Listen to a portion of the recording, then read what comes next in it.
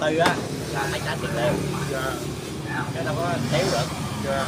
Mình đâu có quen mà thiếu mình phải à, nhưng mà hồi lúc đầu á là chú không chịu mua căn nhà đó.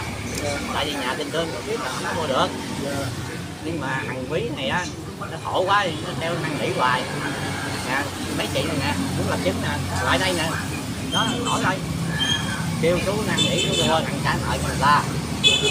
Chú không chịu mua thôi, mua rồi mày ở đâu? Ở nhà trọ rồi. Tội nghiệp cho mày. Không mua, rồi nó năn nỉ hoài chú mới mua thôi. Chú về chú năn nỉ vợ chú kêu mua đại đi lại đi, mua giùm giúp đi để trả nợ cho người ta.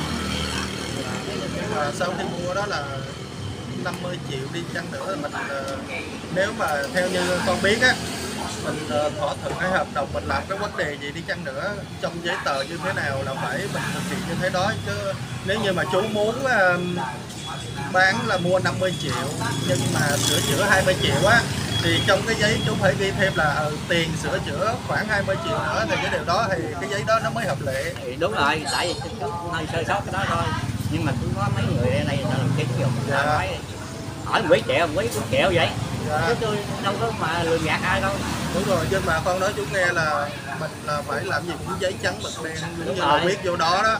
Thì mọi cái giấy đó thỏa thuận đó thì người ta sẽ hiểu là à, chú với lại anh quý mua với nhau với giá là 70 triệu tại trong giấy là ghi như vậy. Nếu như mà chú có để thêm những cái ghi ờ, mua với giá là 50 triệu đi còn 20 triệu là phụ thêm về cái vấn đề sửa chữa gì đó quý á, nó mới nói vậy nè thôi bây giờ á, lúc đầu bác 70 triệu.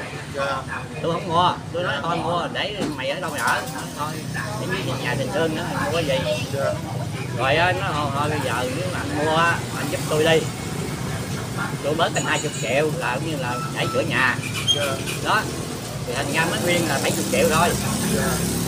Anh tôi lấy 20 triệu là lắp vô cái nhà. Dạ. mà 20 triệu chưa chắc đủ nữa. Giờ đang làm chưa chắc đủ. Dạ, thì cái, cái, cái việc đó thì con biết khi mà mình mua nhà rồi đã là nhà mình cũ kỹ phải sửa chữa. Rồi bây giờ đi à, con gái qua để chị qua đây xích đây em trò chuyện với chị với lại chú luôn đi mình nói rõ luôn đi. Con gái qua ngồi bển đi. Tôi giúp đỡ nhưng mà vợ chồng nó rồi bây giờ là theo à, chị thì chị à, nói thì bữa đó là cha của anh Phi á là kiểu như nói là bên chồng của chị năn nỉ rồi giá như thế nào. Như trong giấy anh sao đó? Dạ, trong giấy á, đầu tiên đó thì nói với ờ, chị đó là đầu tiên là nói 80 triệu.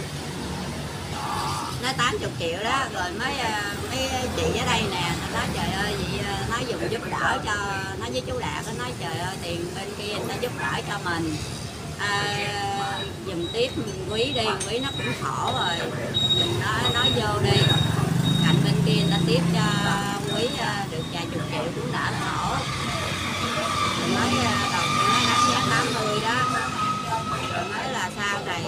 bả đi xuống bả bán bả xuống bả coi bả nói thôi nhà sắp giờ bớt ra bớt cho bả đi. Đặng bả để tiền nhà thì nói là 70 triệu 70 triệu có năm mà đây có năm ơi là đi làm giấy đồng ý đi làm giấy là để chung giấy đó là 70 triệu. Rồi tới sau này bả từng lễ sau bả èo ọt lại bả nói thôi giờ bớt xuống nó đi là nói thôi vậy là cho bả là 60 triệu. Rồi bả cũng đồng ý mua nhưng mà 60 triệu bả đồng ý mua rồi tới sau này á cả từng lễ sau nữa bả xuống nữa. Bả nói thôi giờ bán cho bả là 50 triệu đi. Bả còn sửa chữa này nữa. Đó thì à, nãy giờ chú cũng có nghe là chị chia sẻ là có đúng như vậy không? Để cho tôi đó tôi nói cái là đúng tại vì giờ tôi nói cũng không được câu được tại vì Và người nghe chữa bây giờ là cái cái người mà làm chứng ờ, tất cả là lúc mà nói chuyện đầu tiên nhất cũng là chị đó làm chứng hay sao? Đầu tiên nhất là kêu 80 triệu đó. Đó Rồi à, tôi mua là cũng, tôi mua là cũng cô này cũng kêu mua giùm giúp đỡ giùm cho hai vợ chồng nó. Dạ dạ. Chứ không phải là tôi muốn mua đâu. Dạ. Còn hai người làm chứng thôi chứ không phải là một người dạ chứ đừng có nói tôi lừa đảo là tôi xin không phép chịu à. đây con xin phép trò chuyện với cô chút không nói tôi lừa đảo là tôi không chịu đâu. Thiệt. Tôi à, mua bằng anh tiền em à, anh em à, làm ăn chung nhau tôi em, tôi thấy nó em cũng có cho em mít tôi với nhau đâu. nói vì- giờ quay gì nè nói sao thì có có sao thì tôi nói sự thật là vậy. ví dụ mà con kêu con đi mua cái nhà đồng lý đó năn nỉ thấy tội nghiệp đó. Cô năm nói giùm từ đầu tới cuối ra sao? Cái đầu tiên đó thì con nói với cô năm. Con nói với cô năm cái nhà con bán đó là ta giá 80 triệu. Phải không cô năm? Con giá đó 80 triệu. Đó rồi cô năm nói đi nói với cho mấy chú nghe. Rồi cô năm nói theo mà bên chú đạt nói sao đó? Hai sao? Hồi lúc đầu á con nói cô năm á là con không mua cái nhà quý đúng không? À, rồi cô năm năn nỉ con thôi chạy giúp đỡ cho nó đừng trả nợ rồi có rồi. Rồi á con nó không mua cái uh, quý năn nỉ mua đi. Rồi nó thôi, thôi bây giờ á, anh mua giùm cho em. Em đi trả nợ cho người ta. Rồi tôi nói mày bán nhiêu nó không bây giờ á lúc đầu em nói bảy chục bây giờ em nói năm chục thôi. Phải không cô năm con nói đúng không? Con, nói con nói gì? Rồi á chục. con nói thôi vậy bây giờ mày bớt là hai chục.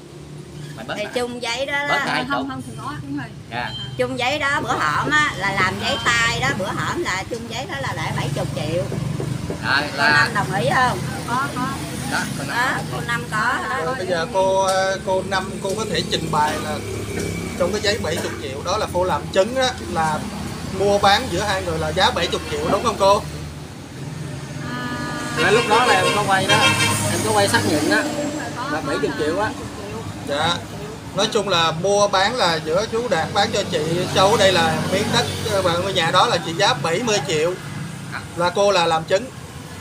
không làm chứng là mua năm chục à năm chục Làm chứng 50 nhưng mà tại sao cô lại làm chứng ờ, trong cái giấy là 70 triệu? Ý là cô không có biết trong giấy bao nhiêu luôn. Nhưng mà tại sao cô dám ký xác nhận là làm chứng cái vụ việc đó?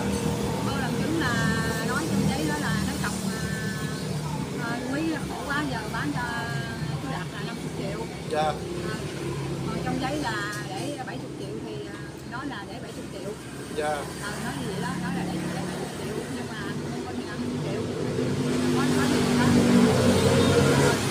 đó ý có nghĩa là cô cũng biết là mua bán đất 50 triệu 50 triệu nhưng mà trong cái giấy viết là để 70 triệu 70 triệu. để cho thím đạt với chú đạt này là à, ra tiền sữa Dạ. 20 triệu để tiền sữa Dạ. Vậy nếu nếu mà cô ờ, 20 triệu đó ra tiền sữa vậy tại sao mình không có thỏa thuận nhau là mua 50 triệu ghi giấy 50 triệu thôi? không có phần đó là hai người thỏa thuận tôi không biết tôi chỉ biết là như vậy là hai người thỏa thuận nói là bây giờ đó là mua bảy bảy để trong giấy 70 triệu Dạ. nhưng mà chồng tiền nó trả về tầm 50 triệu Dạ. hai người thỏa thuận nhau cái phần phần đó là tôi không biết tôi chỉ biết cái gì thôi thì để à, hai chục triệu để mà chú à, đã hai vợ chồng chú đặt sửa nhà đó Dạ. là hai chục triệu đó tôi chỉ biết gì Dạ nhưng mà nếu mà theo đúng đúng lý ra ha thì cô cũng nói chung là chắc có lẽ cũng mua bán cũng thỏa thuận nhau về cái vấn đề đó cũng nhiều là cô về việc mua bán cô chắc cũng sẽ phải biết mình bán đất mua đất cái gì đó là thỏa thuận trong giấy trắng mực đen như thế nào mình sẽ quyết định như thế đó đúng không cô? Đúng đúng. Đó nhưng mà với cái trường hợp ở đây thì cô viết trong cái giấy tờ là 70 triệu nhưng mà mình lại nói là chuyện với nhau thỏa thuận nhau 50 triệu cái chuyện đó là, là nó không có hiệu lực tại vì trong giấy như thế nào người ta sẽ tính như thế đó. Thì hai người thỏa thuận thôi tại vì bên đây là cái nợ cái nợ khổ quá. Dạ. bây giờ hai người thỏa thuận không phải là là tôi chỉ làm giấy nợ là hai hai người có bán bán đất là Dạ. ờ, có có bán đất sự thật. Dạ. Thế là, là, là, là, là, là để sao là hai người không có đặt lộn với nhau. Dạ. là tôi chỉ làm chứng gì thôi. Dạ. Cái phần mà hai người thỏa thuận là cái quý này á, là nói giờ thiếu nợ quá nói là hồi đó bán 70 triệu nhưng bây giờ thiếu nợ quá bây giờ không nợ đòi nó nợ cái 60 lai rồi. Thành thử ra chú quý này không có tiền để hoàn trả cái nợ đó chú quý này phải bắt buộc phải bán 50 triệu. Dạ. Cái phần đó là hai người thuận thôi cái phần đó là nhưng mà ở đây con đang rất là thắc mắc cái chỗ mà tại sao mình bán 50 triệu thì mình làm giấy 50 triệu đi cần gì phải làm giấy đó à vậy nè tôi mới hỏi quý hỏi bây giờ cái đó phần đó hai chịu giá thỏa năm thuận chục thôi. triệu không? Quý con triệu triệu thì à, quý bây giờ nói là bảy chục triệu đi thằng anh còn tiền tiền để sửa nhà đó, mua bảy chục triệu là không đủ tiền sửa nhà. Quý nó triệu triệu ờ gì đi à, quý làm đi. Mà à, bây giờ theo như chú Đạt nói là 70 triệu đi để chú Đạt còn có tiền để mà sửa nhà là như thế nào? Chú À. có thể giải thích rõ cho con biết cái chỗ mà 70 triệu để có tiền sửa nhà là sao? Là coi như chú còn là hai chục triệu đúng không? Không. Có nghĩa là chú nói là 70 triệu để chú có tiền sửa nhà là sao? Trong là cái đó là là mua một quý năm chục triệu. Đúng không? Hỏi quý cái triệu không? Nếu mà triệu thì à, quý đẩy vô là bảy chục triệu đi tặng cho anh. Tại sao để vô 70 triệu? Là chú nói là đã vô 70 triệu nhằm mục đích để chú là lấy chú tiền ở đâu. ờ, còn chú còn có bảy chục triệu thôi. Thì Để chú là- thì chú 70 triệu thì chú làm giấy 50 triệu thôi. Chú lấy 20 triệu chú làm có chuyện gì xảy ra đâu. Nói vậy chú dở cái đó không phải là dở. Ở đây á, là chú nên nói thật đây con. Thật sự là tụi con ở đây con biết sự việc ở đây hết rồi. Chú nên nói sự thật. Giờ phải rồi chú. Có nghĩa là bây giờ con nói cho chú nghe luôn. Bây giờ là những cái số tiền mà chú mua nhà đó thì cũng được tất cả cô chú mạnh thường quân trong và ngoài nước tài trợ mình. Đúng không? Thứ nhất á, là tụi con đầu tiên nhất của tụi con cũng có giúp đỡ chú là một số tiền rồi. Sau đó có cô Lê Cương ở Mỹ là giúp cho chú thêm số tiền là ba ngàn nói vậy nè chú ví dụ mà làm giấy 70 triệu đúng không? Dạ. Lần sau này á là không có ai nói chú là chú lấy tiền này chú sửa sửa vô cái nhà là cũng như là 70 triệu. Và cũng như là chú lấy tiền đó chú đắp vô là cũng như là mua cái nhà 70 triệu. Bây giờ con nói chú nè. Nãy giờ chú nói thì nó sẽ không có ai hiểu hết. Bây giờ con nói luôn đi rồi coi cái lời nói của con có đúng hay không ha thì chú ghi cái giấy 70 triệu này á để chú nói với mạnh thường quân để người ta gửi cho đủ 70 triệu để chú có dư ra 20 triệu để chú sửa nhà. Có đúng rồi không? Không phải. Coi như là chú trong mình chú là 70 triệu mua nhà 50 triệu đúng không? Còn 20 triệu chú sửa nhà đâu rồi người ta hỏi mua nhà nhiêu chú nói là 70 triệu. Là ý của chú là vậy chứ không phải là kê lên là mua cái nhà 70 triệu. Đó. Thì nói chung là chú nói là 70 triệu này á là chú đã có tiền trong tay 70 triệu rồi. Đúng rồi. Nhưng thì trong tay năm 70 triệu thì mình ghi mua 50 triệu thôi mình có rồi 20 thí triệu dụ mà. mua nhà 50 triệu rồi người ta hỏi còn 20 triệu đâu. Ai hỏi? Thí dụ người ta sửa nhà đồ đó người ta rồi người ta người hỏi, ta nào? Không thí dụ người ta hỏi còn 20 triệu mua cái nhà ờ, 20 triệu đâu. Chú phải mua vật tư chú mua. Ý là cái người ta nào nói là 20 triệu ở đâu người ta nào nói con không có nói gì không có hỏi gì hết trơn á.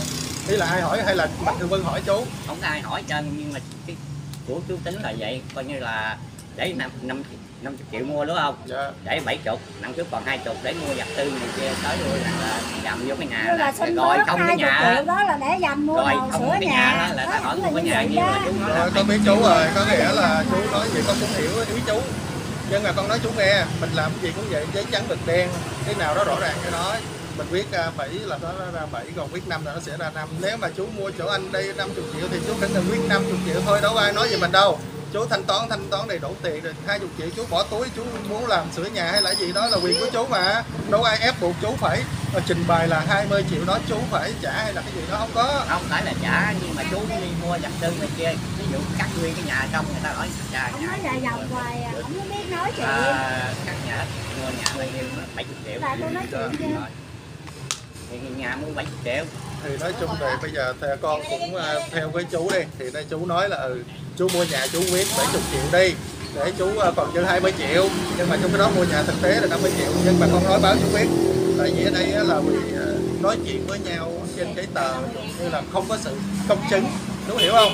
Nếu như mà ra chính quyền á ngang là cái giấy đó viết giấy ta tờ như thế nào người ta sẽ xử theo trong cái giấy tờ chứ người ta không có chuyện nói chuyện như đúng vậy chú hiểu không không? rồi lúc mà làm giấy tờ Ai có giao tôi nói nếu mà 70 triệu là trưởng khóm ký đồng ý. Là tôi mới mua cái giá 70 triệu. Còn nếu mà không có trưởng khóm là tôi không có mua cái giá 70 triệu tôi chỉ mua giá 50 triệu thôi. Còn cái 20 triệu đó là tôi để là tôi mua giấy tờ. Đó. Cái ý tôi là tôi nói như vậy chú quý đồng ý. Với nói ờ thôi tôi để bán cho chế là 50 triệu tôi lẫn lự tôi không muốn mua. Tôi nói đó, tại vì nhà mà cũng không không khí tôi không đồng ý mua đâu. Tôi có hỏi mà rồi tôi sợ sau này rồi chăm cấp tôi không chịu. Rồi á mới là làm giấy nói thôi chị ờ, để 70 triệu đi mà giá ờ, thỏa thuận á là 50 triệu thôi. Tôi với chế biết thôi. Đó chú quý đồng ý bán chứ tôi không có ép giá chú quý cái nói rồi chế ơi gắn giúp cho em em thiếu nợ giờ người ta đòi em quá trời em không có khả năng trả. Tôi nói tôi á thì giờ tôi mình tôi chỉ có giá 50 triệu thôi mà trong khi tôi trả ảnh là được 40 triệu còn dành lại 10 triệu là tôi nói được cái nào mà tôi làm xong thu giấy tờ rồi là tôi sẽ trồng cho ảnh thêm 10 triệu nữa là tính là ngày mai này là tôi trồng cho ảnh. Đó tôi có hứa là thiếu lại 10 triệu. Ở đây Chứ con tôi ờ, không có ép ờ, giá ảnh là cái gì hết trơn ảnh Dạ đồng ý anh bán giá 50 triệu là anh lợi nhà tôi lợi đây luôn. Đó, anh điện hỏi là cũng nhờ chế ơi, dám giúp giùm em em thiếu nợ vậy. Rồi giữa hai bên tôi với anh này cũng quen, bạn bè không mà nó đâu có nghĩ là vậy đâu. Nếu mà nghĩ vậy tôi đâu có mua anh chị, tôi để tiền của tôi mua đất rồi đó tôi không có nghĩ là một ngày này mà xảy ra cái chuyện này. Rồi, bây giờ con nói cô nghe ha. Thì